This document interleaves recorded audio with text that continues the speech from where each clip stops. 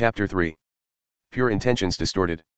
Masculine groups have been around for years, they have explicitly organized local action, within education and legislation, that promotes equality or equal opportunity for men. Gender equality is an essential human right for mankind to develop and live with dignity, freedom, justice, and peace. Which declares that all men deserve to be treated fairly. In the last two decades, better access to education, politics, and technology has helped some women join traditionally male-dominated spaces. Society has become somewhat fairer, but there is more action that can take place.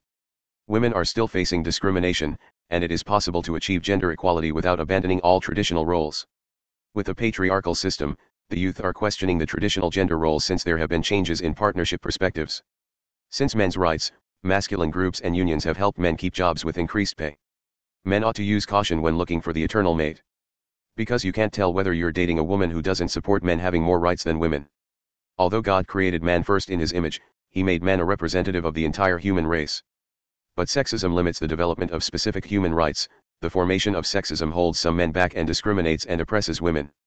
The traditional models are upheld by coercion with attitudes, myths, and ethical values that hinder equal partnership with scrutinized backlashes. These men often become uncomfortable trying to upkeep all masculine roles expectations, and they aren't experiencing certain forms of gender equality that women are experiencing either. Future actions would involve men sharing gender equality, to bring women into equal partnership with men, which supports legal and social change of which would enable, men, getting connected with their human essence. Whereas they can claim true freedom of expression, which involves new social activities, judgment, and realization. Relationships built on lust, envy, and strife. To envy is to feel discontent with someone's advantage, success, possessions, etc. To lust is to have an intense sexual desire for an image or person that can become uncontrollable, and it can be the object of such feelings. Relationships don't form open conversation about the direction it is headed or confirmed mutual agreements usually are built on lust, envy, and strife. It doesn't form a healthy environment for children, and this is where you will find most children suffering through calamity. Including step-parenting relationships where one biological parent isn't present. In which, a parent may set one child on a different platform than the others. When the child is set on a different platform, and is used for uncontrollable sexual desires. It makes the other children feel less confident and connected to succeed in life. We don't have to pretend this doesn't happen, it happens all too often, but it is something that can be overcome with open conversation. There are good parenting books out there, and no parenting book will ever tell you to form lust, envy, or strife in a marriage or relationship to use children for sexual desires. No, not one. If you have felt uncontrollable sexual desires or discontent with another person's advantages, success, possessions, etc., seek help from a church congregation. However, they will want to see a change in your behavior, so wholeheartedly strive to change. If you are someone feeling these sexual desires don't put the children in isolation, because it isn't healthy for anyone. Acts against women. Nowadays many authors write about abusing young women in crime fiction thriller novels. The various list ranges from being beaten, blinded, boiled, bound, buried alive, burned, eaten, gagged, imprisoned, raped, sliced, stabbed, starved, strung up to tied down, or even suffocated. Other acts against women include being drowned, forced into prostitution, pushed off a cliff, slipped a sex drug cocktail, or even used for one sex slave. Only in a few cases remaining quiet and submissive diminishes the control, and oppression syndrome affects women more than men. Women are noticing that ideas or memories of their traditional roles have been distorted with reoccurring forms of manipulation. The Bible and history are a comparison to the hardship women will face, if they don't remain quiet and submissive. The forceful show often comes directly and indirectly for women, and the occurrences never change due to the traditional gender roles. As a result, more are becoming less connected to righteousness and connected to self-righteousness. Too many people justify their wrong actions before the world, while violence against women and crime fiction thriller novels steadily increases. Did Jesus want women to have a voice? He wanted the innocent to receive justice, but this has very little to do with speaking out. While aggressive women are using the quote do as I say not as I do, a submissive woman continues going through the oppression phases until things change for the better. Physical abuse in the presence of kids. Nowadays women have rights, but arguments are formed during uncertainty or a woman going against a man's beliefs. In which, physical abuse in the presence of kids or assaults against kids happens. Originally, it was believed that domestic violence only occurred with the poor and uneducated. But most relationships formed with violence aren't making it to the marriage stages, and wealth isn't necessarily the common denominator. In some cases, a woman has had one man, in other cases, a woman has had multiple men or marriages. In some of those situations, when a woman was physically abused, the man has said, we don't call the police, we will handle it ourselves. This shows cowardice when a man cannot use words of wisdom to resolve conflict. It isn't fair to the woman or kids if any are present visualizing the assault. Whether a boyfriend or husband, the violence often involved men who had mood swings, and some even threatened to kill the woman. There were times a woman left their abuser, and then the man retaliated by killing them, and other women didn't leave for fear of the kids going without a father. Although some women don't value being defined by a man, if she has kids, they will want their father in their life. Victims in those situations became oppressed after the men maintained narcissistic control over them. After they left, the oppression formed into mental disorders. All this shows domestic violence has weakened support for an eternal marriage. Men with mood swings continue to impose violence against vulnerable women. There are vital steps men can take at every stage in life to prevent mood swings. Some steps include understanding what malnutrition is and isn't, making smart food choices, trying an oral supplement such as vitamin D3, brushing your teeth often, and consulting your healthcare provider. Also, soothing music can prevent oppression phases for women in these situations. Having said, Many women may force men into relationships, but if more men used words of wisdom, fewer women would force relationships or end them. Set aside selfish pride when co-parenting, even if it weren't an abusive relationship. Keep in mind, the most important things in life involve embodying a loving and kind spirit with courage. A parent's first bond with their child. Creation between a father and mother is the first intimate part of forming a fetus. When the mother carries the fetus to term, this is the second intimate part of the formation and the first intimate part of bonding with the unborn fetus. The birth of an infant is the second intimate part of bonding after the mother carries the infant to term. Once the father and mother visualize their newborn baby, they give him or her a unique name, and then they fall in love with the baby. Breastfeeding is the third intimate part of bonding, an eternal bond both the baby and mother already share. Since those intimate parts help determine a father's guidance, the father ought to be present during formation, bonding, and if possible other stages. A father and mother generally desire a foundation where their children won't become a heavy burden.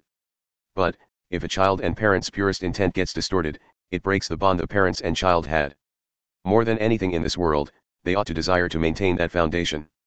This requires fighting for their child when temptation comes their way, and if they weren't raised to, they need to be trained to do so. Otherwise, things can go downhill rather quickly. In a world where we have become unacceptable of eternal bonds between child and parents during pregnancy stages, it leaves less room for parents to honor lasting bonds. While it doesn't require money for parents to bond with their kids. Society has created a social view that says, if you can't afford to have a child, you aren't the parent or you are not a good parent. This myth distorts fathers and mothers' purest intent to create bonds that can last.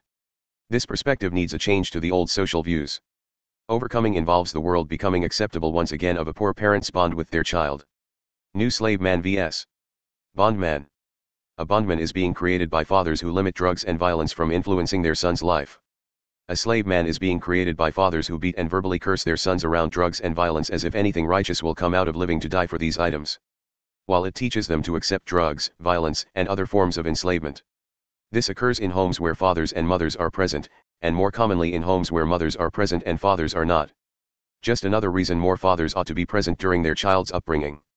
A slave guy is being taught he doesn't need to overcome trauma as a child, while the bond guy is being taught to overcome to reign victoriously. Broken spirits. Having kids and teens with a broken spirit means, they have non-supportive parents and there are several reasons why they have a broken spirit. One parent may have an addiction, a severe mental illness, and slash or a child molester may reside in the home or visits the home. In which, kids and teens are often forced out for lack of finances and slash or physical, sexual, and verbal abuse. Teens are also forced out for breaking curfew, and usage of alcohol or illicit drugs. Too many parents choose sinful sacrifices, and when the addictions are part of a tradition, they can be unbearable to live by. Relationship building starts at home with the adults around them, but once an adult has broken the trust, it can be difficult for the kids and teens to get back on track. Generally, after teens are forced out of the home, if it wasn't for church or college, they tend to lose hope. As a result, the sense of an emotional connection becomes non-existent because it requires practical formation. Some youth may avoid connecting with other family and friends, for fear of their trust being betrayed again. Not being able to connect in relationships, decreases the probability of them being joined together as one with a spouse.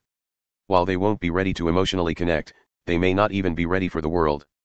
A person's body, mood, and thoughts affect their willpower, and the motivation to achieve slowly diminishes after being traumatized.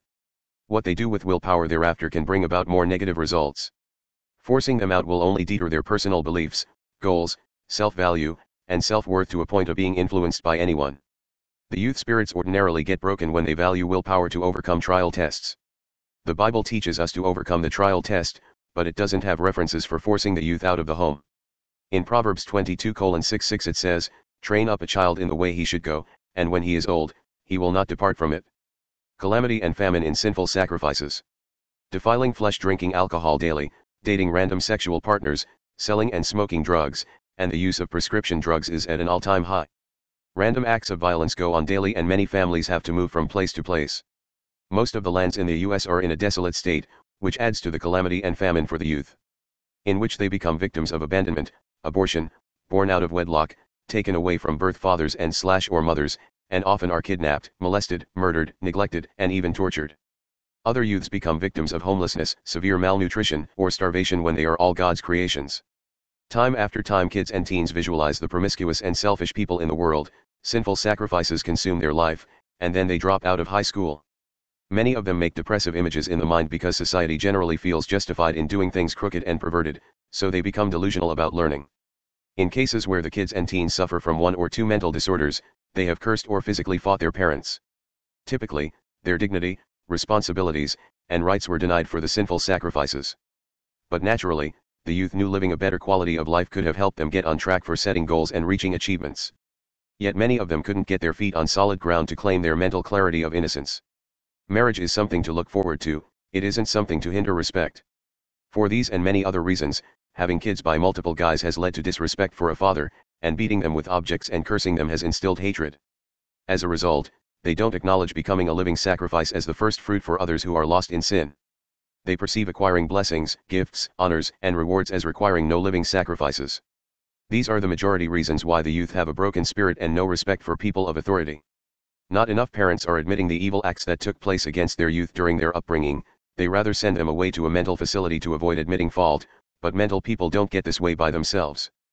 Parents are hindering the youth, overlooking the negative situations, and the benefits of eternal life.